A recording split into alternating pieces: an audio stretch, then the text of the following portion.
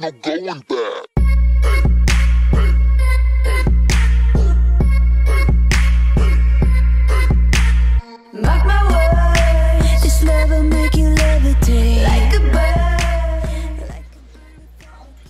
Hey guys, so I'm currently sitting inside of a mall, which is somewhat awkward because yes, people are walking by, etc. But I thought, you know what, whatever. People do this online. They talk by themselves in a bedroom to lots of people.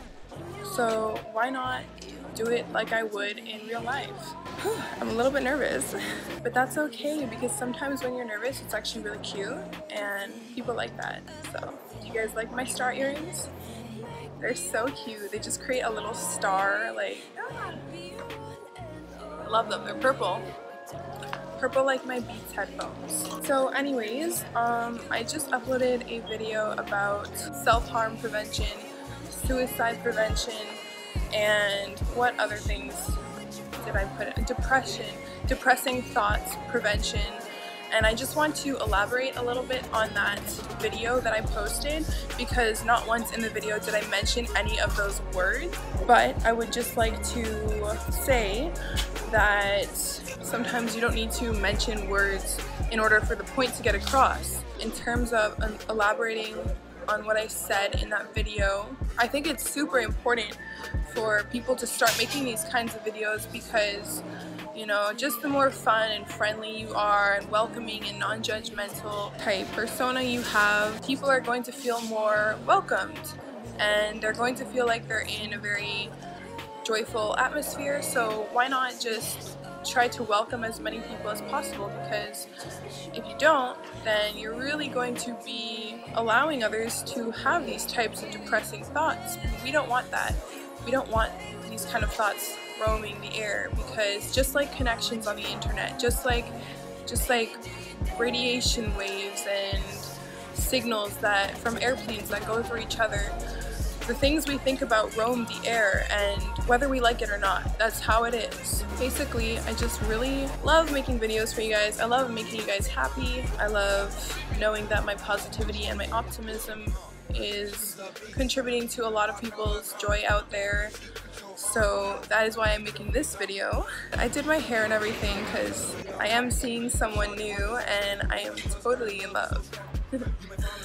so that's why I'm dressed up all cute. And by the way, this is an amethyst and it is so beautiful. I love it. It matches my purple eyeliner and it's a real crystal. Oh, and by the way, the guy that I'm seeing got me this it's a tourmaline and it prevents any negative energy from getting to your soul, which I truly love because it just makes me feel so positive. Oh yeah, by the way, that book called Expanding Universe actually was published on the day of my birthday uh, in 2015, which I find just to be fascinating because I find that the most fascinating fact ever.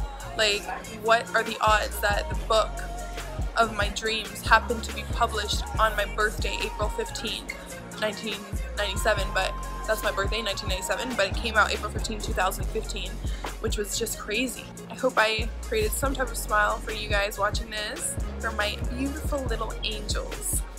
I hope one of you was able to smile from this video.